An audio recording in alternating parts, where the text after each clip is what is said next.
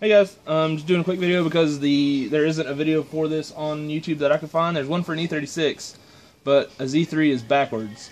So this is the, the part we're replacing with a new one, just because this gasket right here um, cracks and you can see it's gone on this one completely. But what you need to do is you need to take off a little cover right here. And then in there, there's going to be a, a little brass um, clip holder thing. I'm gonna try and get it to where you can see it, but there is, yeah, that shiny spot. Man, I'm zooming. But that shiny spot right there is a little pull tab. Ah, right there, there it is. Um, that L-shaped piece, little focus, is a pull tab. Now on E36s, you have to pull that but on a Z3, you have to push it. So, let's can do this without the flashlight.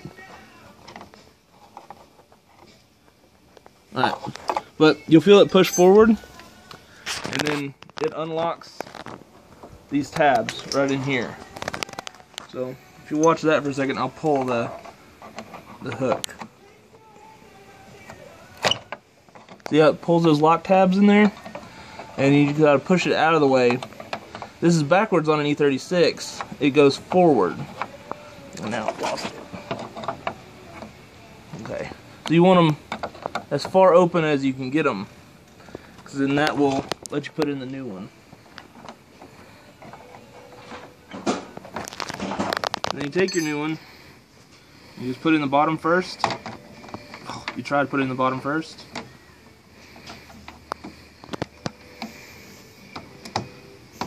And just push it in. Now you might have to hold it in a little bit when you put in the, or you pull the tab back out because it's new rubber and it's, it's just bigger. But you just pull it out and there you go, it's on. Hope that helps.